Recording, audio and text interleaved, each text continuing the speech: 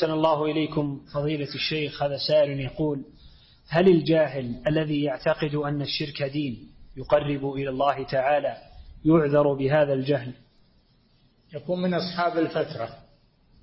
هذا الجاهل اللي ما وجد أحد يعلمه ويبين له هذا يعتبر من أصحاب الفترة. نعم.